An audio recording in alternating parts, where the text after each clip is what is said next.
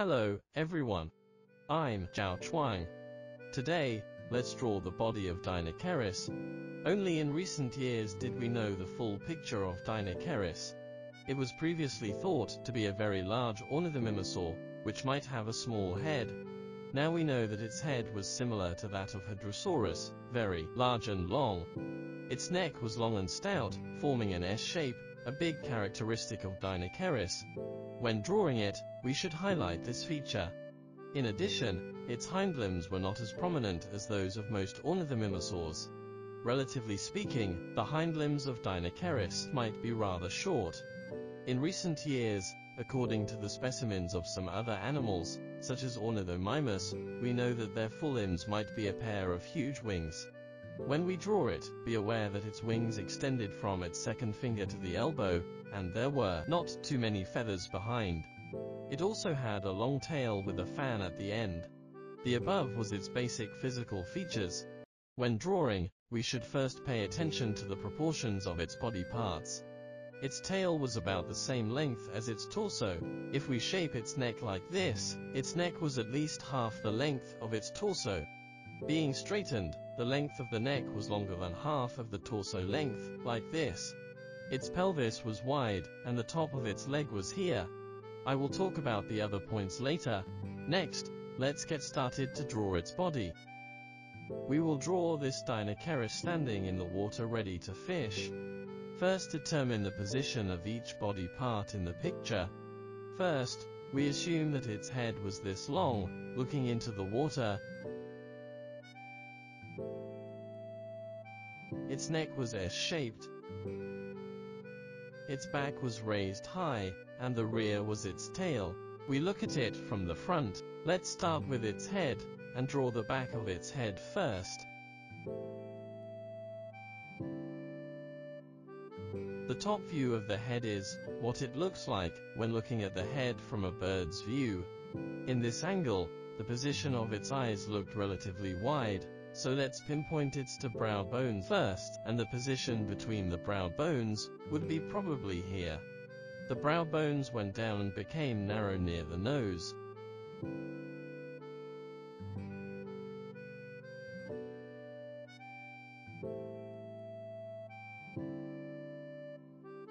Its brow bones were in this position, and then we draw one eye here. Its eyes were small, like this, and we draw a tiny pupil. There was some loose skin under the eyes. In front of the eyes were the antorbital fenestrae, which were not big. The other eye was blocked, so we couldn't see it. In the front was its mouth. The upper part of the mouth expanded to the sides. We can draw two structures like this first, and then use thin lines to draw the bones.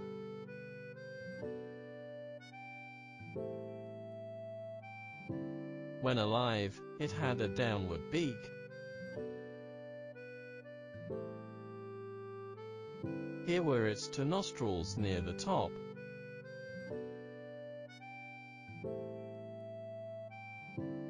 Backward, we draw its mouth.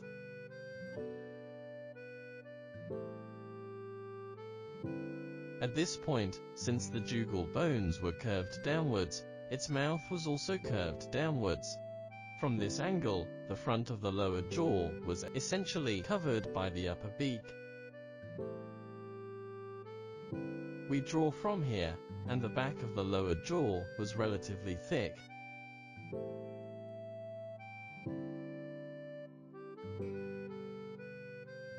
Then, we draw some feathers on the head, similar to fine hairs.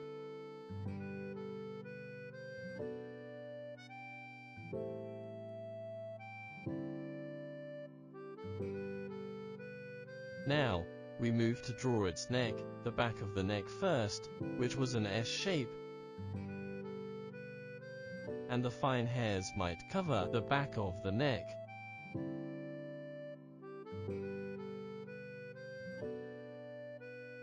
Draw some muscles on the side of the neck, followed by its throat, which was soft.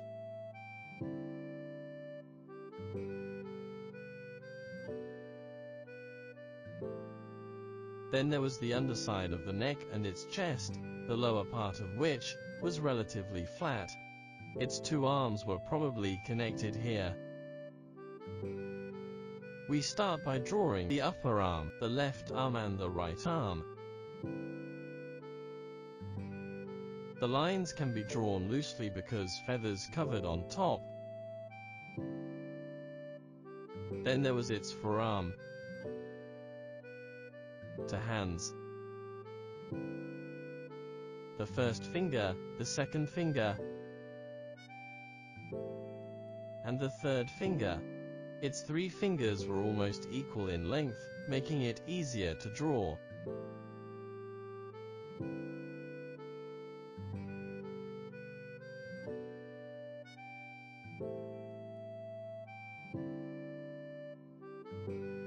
There was a layer of feathers starting from the second finger, and the feathers were probably like this, all the way to the wrist.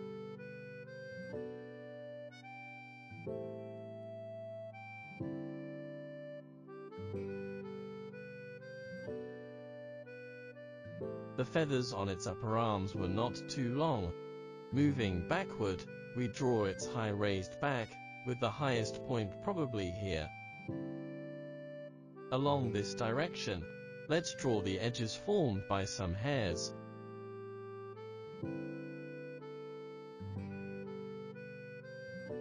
At the rear of the tail, the line went down and extended like this.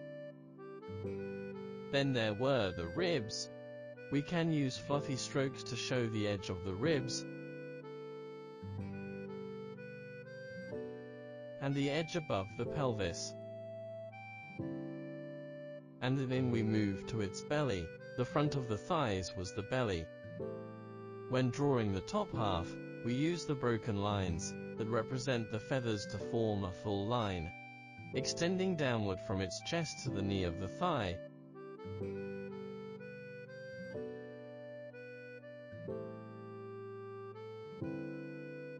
We draw its belly in this direction,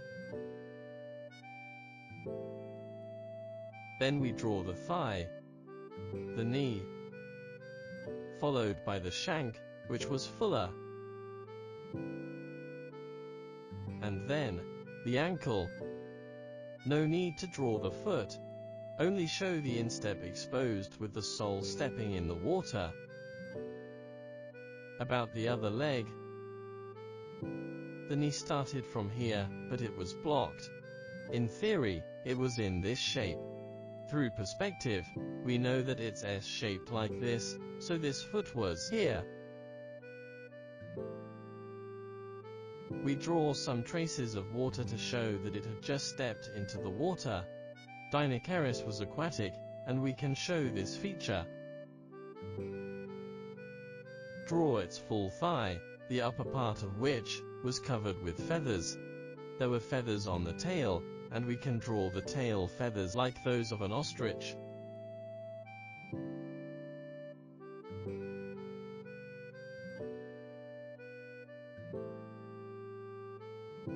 Its basic outline is complete now. Next, let's add some details. We draw its feathers with strokes like this, to show the layers.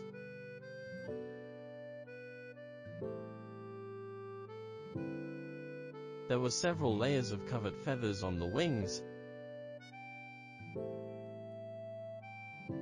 and we draw them layer by layer.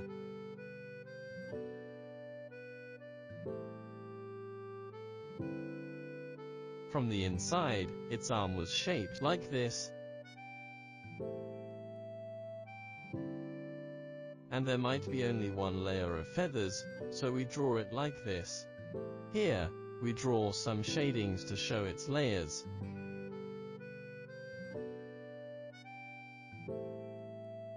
The lower part of this animal had bare skin on its belly.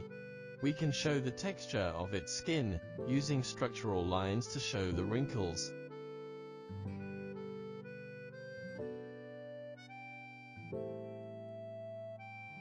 The same goes for the legs. Draw the muscles on the shank and the wrinkles at the ankle.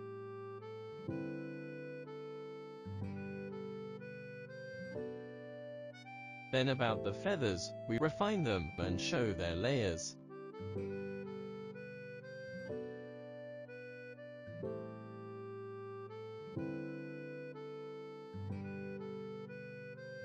On its neck, we draw a clear dividing line between the feathers on the neck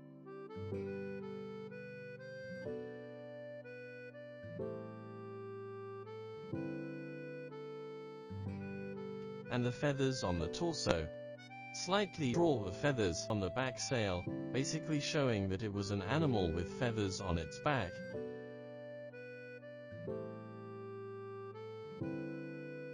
We can use these short lines, and randomly draw them in one direction.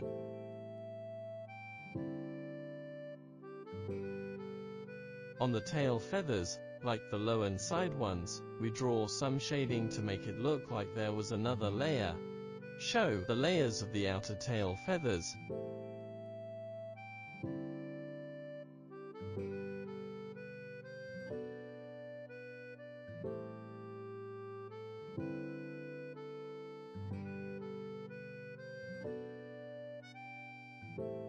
Finally, draw some wrinkles around the neck to show that there was bare skin on the neck.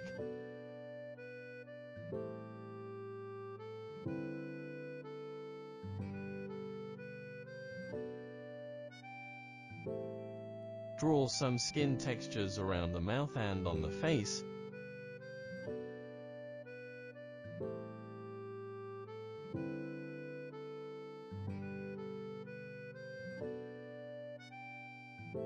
On its beak, we can draw these structures. Then we draw the river water around its feet.